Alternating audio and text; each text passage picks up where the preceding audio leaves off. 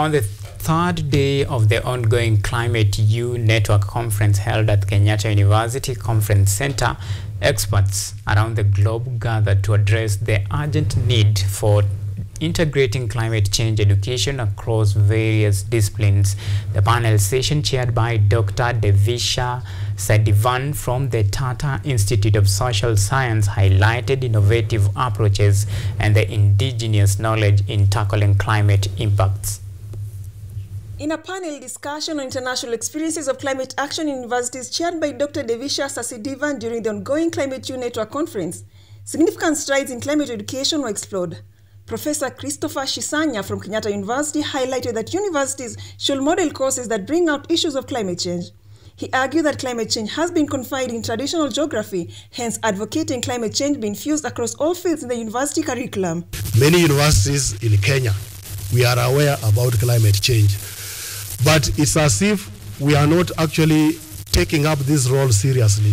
So I think it is very, very important that starting at home, we must make sure that at least the management of the university must uh, uh, uh, undertake a deliberate effort to actually mainstream climate change in all departments of the university, not just geography department or environment. I think climate change knows no boundaries. Glynis Vargotine from the University of Witwatersrand shared a remarkable success story from Somanga village in Tanzania, where the mobilization of indigenous knowledge led to the restoration of local ecosystems. The community successfully cultivated approximately 7,000 coral reefs and 18,000 mangroves, reversing some of the adverse effects of climate change.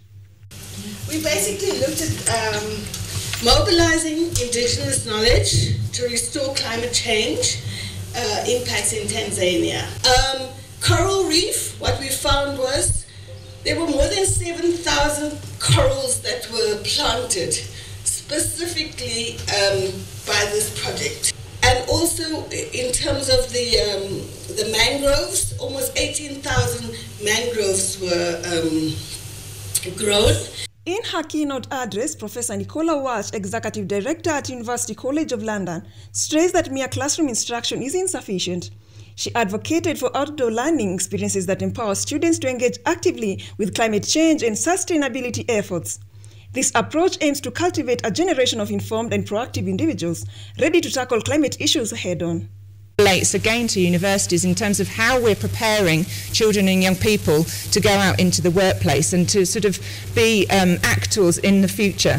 So only 17% said that they would like to work in a job related to climate change and sustainability in the future, and only 31% thought that it was actually going to be relevant and, and would help them get a job, which of course is ridiculous because I would argue that all jobs are relevant in, in the future and all jobs must take this into account. So there's something we're getting very wrong within the context certainly of England in terms of not preparing our students how, to understand how this is important and giving them the agency to act both within their local context. As universities worldwide grapple with their role in climate action, discussions like this underscore the need for innovative educational strategies that transcend traditional boundaries. Brenda Nyongesa, KUTV.